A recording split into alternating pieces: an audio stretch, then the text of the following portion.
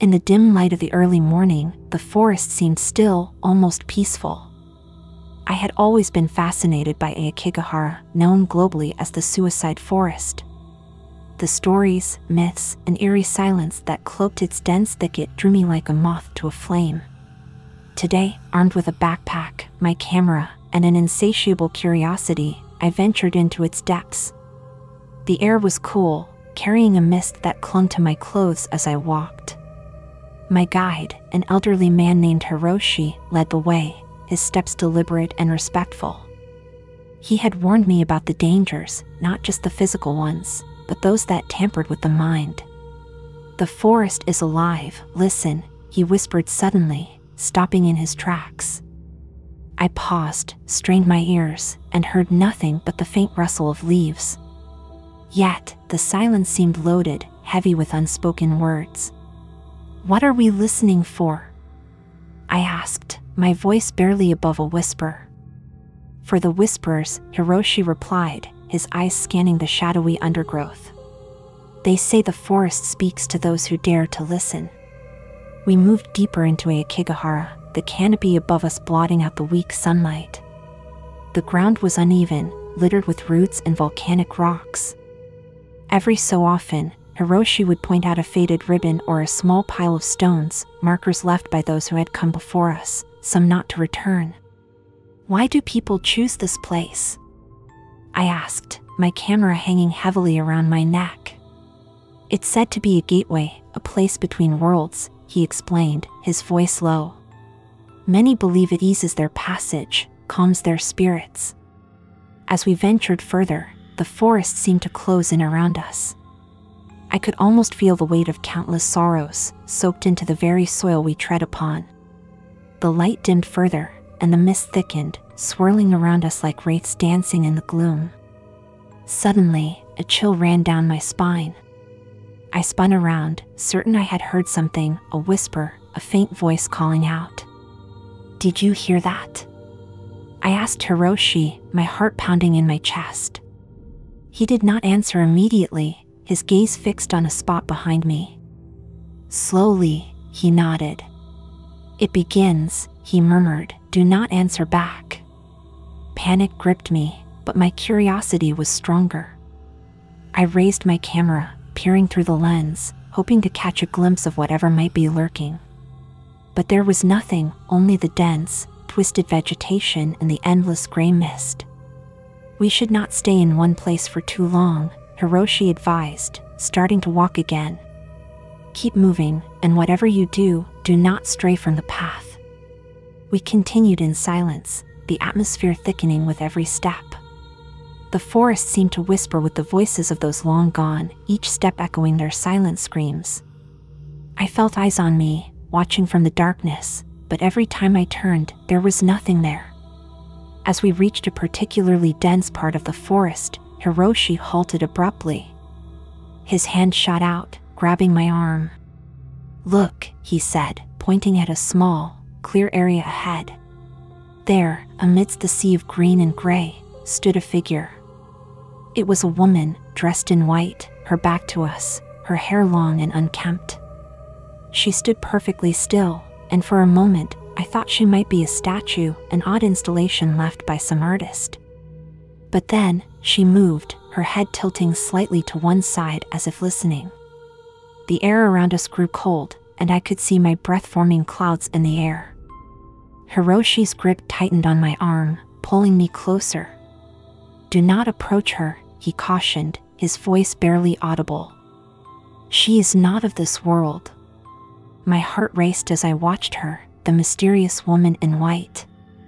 She seemed ethereal, almost translucent against the dense backdrop of the forest. Curiosity overwhelmed me, and I raised my camera slowly, focusing the lens on her. As I clicked the shutter, the sound impossibly loud in the quiet of the forest, she turned. Her face was pale, her eyes hollow. They seemed to bore into my soul, filled with an indescribable sadness. I gasped, the camera falling slightly as the image blurred. What is she? I whispered, unable to tear my gaze away. A Yurei, Hiroshi replied, a spirit bound to the earth by sorrow, by pain. We stood there, frozen, watching as she drifted slowly toward us, her movements fluid, almost floating. The air grew colder, the mist swirling more intensely around her. I could feel the temperature drop, my fingers numbing as I clutched my camera. Keep walking, Hiroshi urged, pulling me back gently. We must not let her come too close. Reluctantly, I followed him, my eyes still on the spirit. She stopped moving as we did, her sad gaze following us. It felt as though she was reaching out, not with hands, but with her despair. Why is she here? I managed to ask as we resumed our careful trek through the forest. Many spirits linger here, Hiroshi explained. They are trapped, unable to move on. This place, it attracts them, binds them. The path became rougher, the roots thicker and more treacherous underfoot. Every crack of a twig, every whisper of the wind made me jump. The forest seemed to press in on us, the trees like silent sentinels watching our every move. As we moved, the forest began to change. The trees grew closer together, their branches intertwining, creating a canopy so dense that very little light penetrated.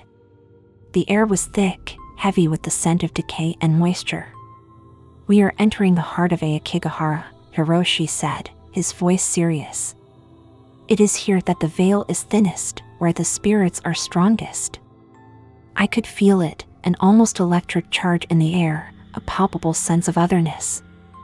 Shadows seemed to move independently of their sources, flickering at the edges of my vision. I turned quickly, catching glimpses of figures that vanished when looked at directly. Did you see that? I asked, pointing to where a shadow had darted behind a tree. Hiroshi nodded, his face grave. They are aware of us, he said. We must be careful. The spirits are restless today. The path curved, and suddenly we came upon a small clearing.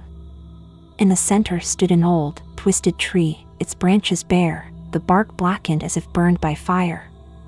From its limbs hung numerous strings and ropes, some old and frayed, others disturbingly new. This is the tree, Hiroshi murmured, his tone somber. Many souls have ended their journeys here. The atmosphere was oppressive, the weight of despair palpable. I could almost hear the echoes of those who had come here in their final moments, their whispers carried on the wind. It was a place of sorrow, a place of endings. I feel them, I confessed, a shiver running down my spine. It's like they're all around us. They are, Hiroshi agreed. Their pain lingers. It feeds the forest. We did not stay long in the clearing. The feeling of being watched, of being surrounded by unseen eyes, was too intense.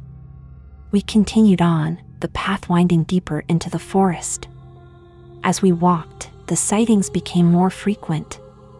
Figures appeared and disappeared a child crouched behind a rock, an old man leaning against a tree, a young woman wandering aimlessly among the trees.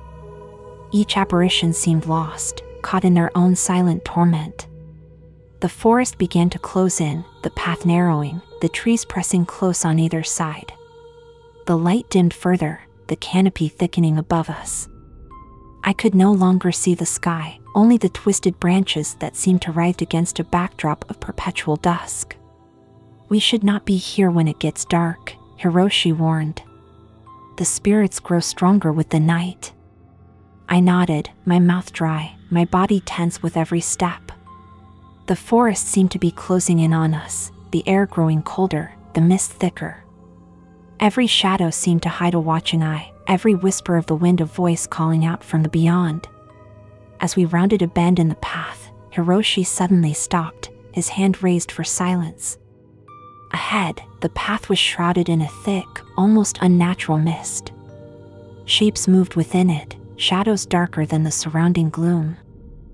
Wait, Hiroshi whispered, his voice tense as he stared into the thickening mist. His hand gripped my arm, a silent command to stay still. I peered forward, my breath held tight in my chest. The shapes within the mist shifted, merging and parting like specters in a ghostly dance. I could see them more clearly now. Figures, human in form but lacking substance, moved languidly. Their motions were slow, deliberate, as if the air around them was denser, heavier. My heart hammered against my ribs, a staccato rhythm that seemed loud in the enveloping silence of the forest. Who are they? I asked, my voice barely a whisper, fearing any louder sound might draw their attention. The lost, Hiroshi answered, his eyes never leaving the mist. Those who cannot find peace, trapped here by their own despair. As we watched, one of the figures turned towards us, its face obscured by the swirling fog. It paused, as if sensing our gaze, and then began moving slowly in our direction. Hiroshi tensed, and I could feel his readiness to turn and flee. We should not be here, he said, urgency creeping into his voice. This part of the forest, it's too strong, too active. But before we could move, another figure emerged from the mist, this one clearer, more defined. A woman, her face pale and sorrowful, her eyes hollow with grief. She stopped a few yards away, her gaze piercing as she looked directly at me. Help us, she whispered, her voice carrying across the distance, unnaturally clear.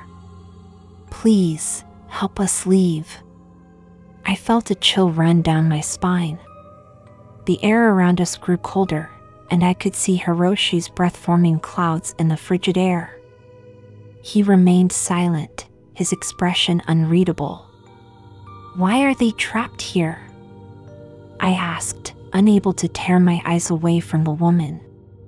Their ties to the living world were not severed properly, Hiroshi explained, his voice low. Unresolved issues, unexpressed emotions, they bind them to this place. What can we do? My question was a plea, driven by a sudden, overwhelming desire to help these lost souls. Hiroshi was silent for a moment, contemplating. There is a way, but it is dangerous. The forest does not release its hold easily. I want to try, I said, my decision firm. The sight of these tormented spirits, their despair so palpable, moved something within me. Hiroshi nodded slowly, then began instructing me. We need to perform a ritual, an offering of peace. But we must be quick.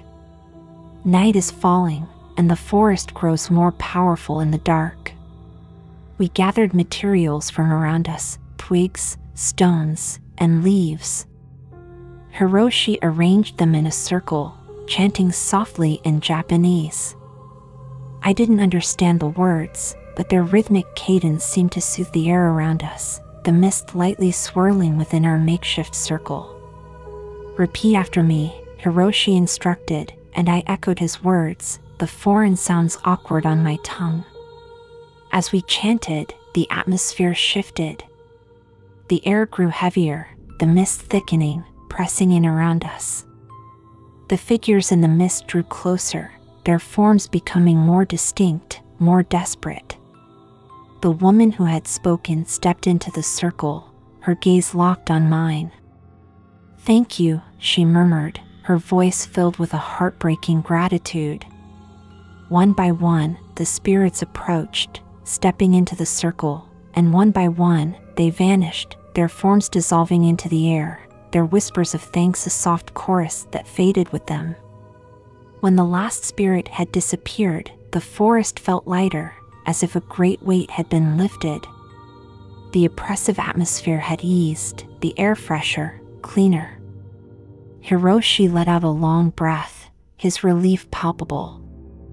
We did it, I said, a sense of awe in my voice. We actually helped them. Yes, Hiroshi agreed, a small smile touching his lips. But we must leave now. The forest will not be pleased with our interference. We hurried back along the path, the forest around us quieter, less menacing. As we emerged from its depths, the last light of day fading from the sky, I felt a profound sense of peace. The journey back was uneventful, the night sounds of the forest less ominous, more natural. When we finally reached the edge of Aokigahara, I looked back, half expecting to see something, someone watching us. But there was only the forest, silent and still. As we walked away, I knew I would never forget this place, the spirits I had seen, and the peace we had brought. Aokigahara had changed me, its mysteries and sorrows leaving an indelible mark on my soul.